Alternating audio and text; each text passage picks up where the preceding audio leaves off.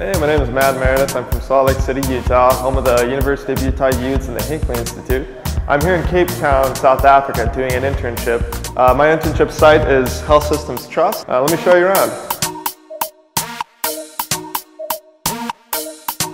Uh, my internship is regarding epidemiology, so we help determine health statistics of populations. I've done interviews, transcriptions of interviews, going live into clinics and collecting data of the rates of HIV, tuberculosis, infant mortality.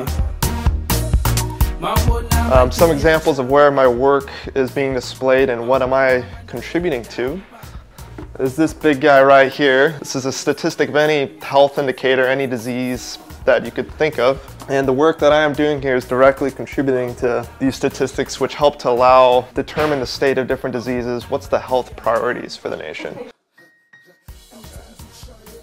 While interning here, my internship Health Systems Trust flew, flew Omar and I out to Mpumalanga, province in far northeastern parts of South Africa.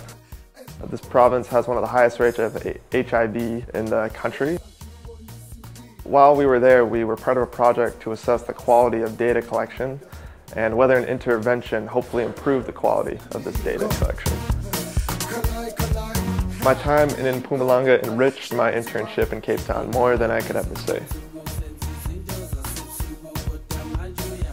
The two biggest things I think I could take home and use in my daily life and further career are um, probably research and social skills. I'm able to build on previous research skills I've learned in the lab, but I'm also learning completely new skills like how to interview, how to collect data live from clinics, which will be huge further on in my career.